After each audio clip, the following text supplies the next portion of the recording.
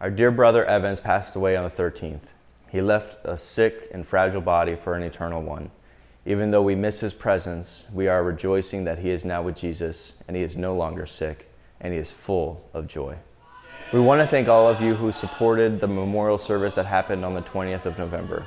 It was a beautiful service with lots of family and lots of people sharing about what they remember best of Evens.